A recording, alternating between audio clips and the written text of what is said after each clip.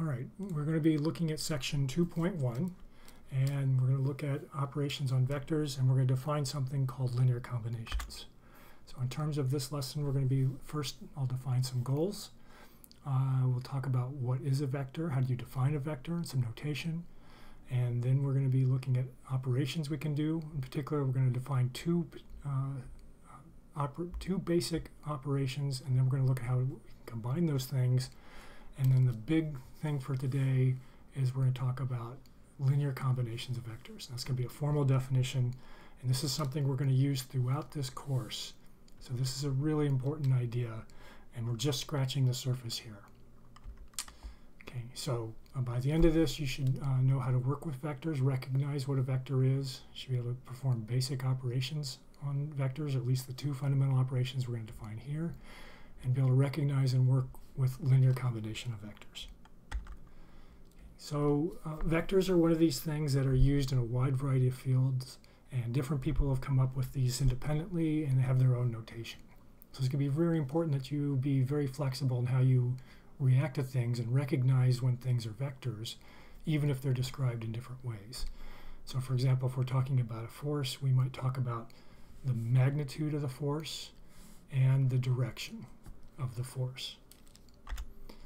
Uh, we may talk about uh, velocity as a vector, and we may do that in terms of components, right? So we may have two different directions, north and east, and give the components of the vector in those two different directions. Sometimes the direction is given to you in a way that's not always obvious. So for example, if we have a wire and we need to know uh, the direction. This is actually not uh, giving a specific direction. So we should actually have to know which direction it's going. So something like this, if you're going to use the Biot-Savart law, you need to know which direction the current is going. So we have some magnitude and direction, and that's going to help us work with this thing. Okay. Sometimes we just use the uh, vectors as a way to keep track of the state of some system. So for example, in biology, if you've got the population of several different species, we may use a vector to keep track of the numbers of each species. Sometimes you see this in chemistry. If you're going to keep track of the mass of different kind of compounds, they'll throw that in a vector and work for it, from it for there. Okay, so all of these uh, different notations or different ways to describe vectors are important and you should be able to recognize them. Um, in terms of how do you think about this geometrically, you can think of a vector as something that has a start point, and we'll refer to that as the tail, and an end point, and we'll refer to that as the head of the vector. So for example, if I give you two coordinates saying this is the tail and that's the head, so the tail is going to be at minus 2, 3, and the head is going to be at 3 minus 3. So this is going to define our vector like that. If we only give you one coordinate, then we're going to assume that the tail starts at the origin. So if you're just told this by itself, that means that the tail is going to be at the origin at 0, 0, and it's going to extend out to 3 minus 3. Okay. So again, there's a lot of different ways we can denote or describe a vector. So we can give it to you in terms of a length and a direction. Uh, we can give it to you in terms of the tail and the head, or just the head, and this is going to imply that the tail is at the origin. We can give it to you in terms of components. So for one example would be the I and J components, and then include K for in 3D. In this class, this is going to be the method we're going to use the most. Um, so uh, this is what we'll see most often. As we go to higher dimensions, uh, this kind of notation is going to be easiest to use. Um, and what's important here is you recognize that all of these descriptions here are describing the exact same vector. In terms of notation, uh, oftentimes uh, books will use that, uh, they use a boldface, and this can be really hard to keep track of. So you have to be very careful when reading texts. Uh, in the notes here, we're going to use an arrow over the top of the character. This is going to denote a vector. Later on, we're going to see this notation. We're going to see a hat. And this is going to be special notation for a vector. And what this means is that the, the length of this vector is 1. Okay, so that's going to be important later on. We'll see that. Uh, so when you see all these things, you should recognize this as a vector. And whenever you see an expression, you should always stop and ask, what's a scalar value? What's a vector? And later on, when we see matrices, you should ask, what's a matrix? okay, there, there's two fundamental operations that we're going to work with. Uh, first is going to be scalar multiplication, and the other is vector addition. For scalar multiplication, now the way this is worded is a little problematic. We should explicitly tell you uh, what each of these things is. So if I take a scalar number times a vector, basically what this is going to do is it's going to take this vector and change its length. If c is bigger than 1 or less than minus 1, it's going to make the vector longer or stretch it out. If c is between minus 1 and 1, then we're going to squeeze it in. If c is a positive number, then what we're going to do is the resulting vector is going to be going in the same direction. If c is negative, then the resulting vector will be flipped and going in the opposite direction. So as an example, suppose I've got this vector 2 minus 1. If I multiply by 2, basically I'm going to stretch it out and go along this direction. And the result is going to be like that. If I take minus 2, I know that I'm going to stretch it out it's going to, but because it's a negative 2, I know it's going to be flipped all around in this direction. So it's this basically the opposite direction and twice as long. If I multiply by a half, right, I know it's going to still be in this direction, but it's going to be basically be half as long. So my result looks like that.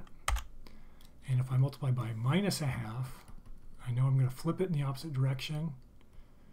And the uh, result is going to be half as long, so I get something like that. Okay. Second thing we're going to look at is vector addition. So basically with vector addition, I'm going to take each component and add each component. So the first thing, first component is going to be the sum of the first components. Second component is going to be the sum of the second components. And I can extend this to three dimensions. And I'm just going to add component by component.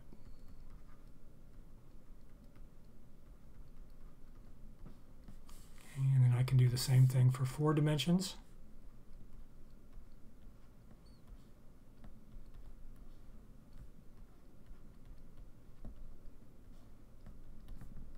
So I just add the first two, and the second, and just keep going. So each component is the sum of the corresponding components, and I can go to five, six, whatever dimensions I need to go to. now, graphically, how do we think about this? We can think of this as stacking the two, sorry about that, stacking the two vectors. So if I take u plus v, I start with u, start at the origin or start wherever I'm going to go from, go head to tail, and then I take the tail of the V and I put it at the head of the U and extend that on. And now my resulting vector is going to be at, from the tail of the first vector ending at the head of the second vector. And that's my result like so. Um, it's not going to matter which order we do things.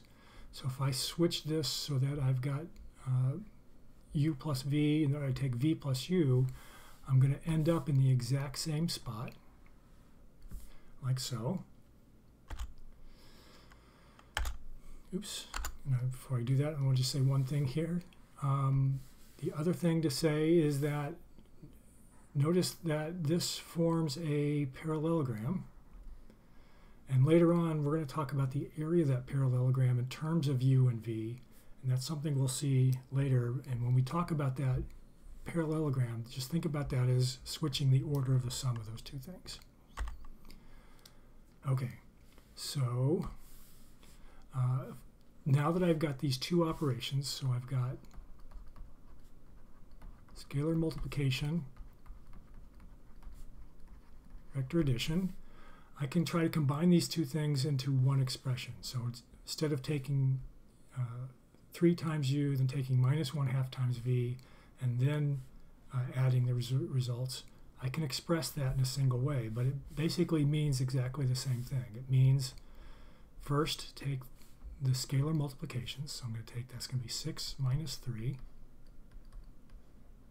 Then minus a half is going to be minus 2 minus 4. Now do the addition. And I get some result.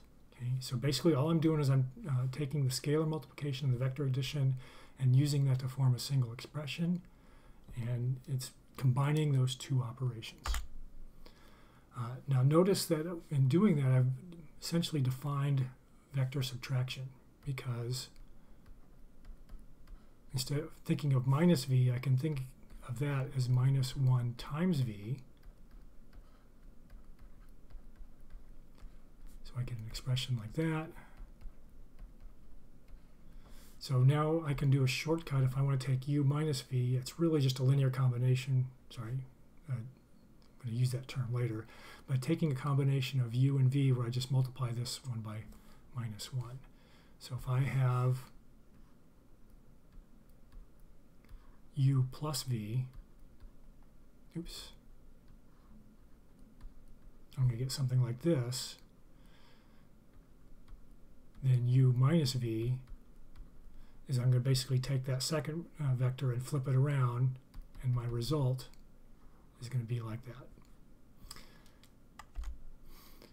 Okay, so, so as another example, uh, and we can pick whatever numbers we want here. So this is going to be 7 times u is going to be 14 minus 7.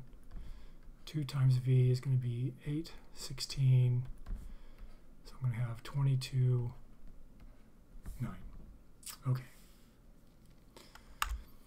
So we can generalize this idea. Uh, so basically we've looked at scalar multiplication, which I think is straightforward, vector addition, which is relatively straightforward.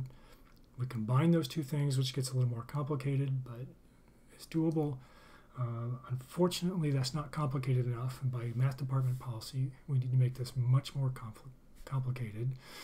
Uh, so we're going to generalize this idea, and the idea is this. If I have a bunch of scalar numbers, so these are just single numbers, and I've got some corresponding vectors. If I want to take, so what we've done up to now is we've just looked at taking two of those vectors and multiplying them and adding. I can do this in general for any number. Right? And the notation that we're going to use for this is going to be along these lines. And if I take something like this, this is a linear combination. And we're going to spend a lot of time in this course talking about linear combinations and what this means. So it's really important for you to get this down now. So I highly recommend that you go in your book and look at that and then look at some of the examples that are in your book, especially on the web pages. So there's some really nice examples to get these ideas. So we're just touching the surface here. Um, so what we've done so far is done something like this. If I just take a scalar times this vector plus a scalar times ve this vector, this is a linear combination of these two vectors. Uh, and what we're asking now is what if we make this a little different? If we extend this out, then what happens? This comes out a little further. We're going to make this a little longer. And then our new sum is going to look like this. So we started there, and now with that change, we're going to be there. And we can ask all kinds of questions. We can ask questions like if I'm up here, is it possible for me to find a number here and a number here so that I end up over there? Okay, sometimes that's going to be possible, sometimes it's not. So an important question is, is can this be done? So in general, we're going to have something like this. We're going to have a couple vectors, and we're going to ask, what is the set of all possible linear combinations? Right? We'll talk about that later, but this is kind of a, a preview of what's to come. We're going to ask, what vectors can I actually express like this? So what are the, what are the possible vectors I could put here and get something that makes sense? Okay. Uh, so if I look at something like this, so what is this vector? Um, this vector is going to be 1, minus 2. So basically it's in this direction. So if I ignore that, basically the set of all vectors that I take c1 times that are going to be anything along that line. So that's going to be multiplying by negative numbers, multiplying by positive numbers. So any vector along here I can write like that. If I look at this, what the heck is that? So that's going to be 1, 2, 1, 2, 3, 4. That vector oops, is on the same direction, and that's going to basically be anything along that same line. So if I take any linear combination of these two things, I'm basically going to be stuck with some vector along that line. I can never get anything that's over here. Okay? So this is basically the set of vectors that are uh, along this line. And note if I can do that, if I think of this as going head to tail, if I take uh, a negative number times that and get that, and then do the same thing here, and I uh, suppose I add, let's see, suppose I take minus C1, oops, sorry, C1 is minus 1, and C2 is 1 half, if I do that, I'll get the origin. I basically come straight back to where I started from. If I double this, and then double the other one, notice I end up back at the same place. There's not a unique way for me to talk about a vector along that line and figure out a unique way to uh, express C1 and C2. Okay, that's it. Thank you.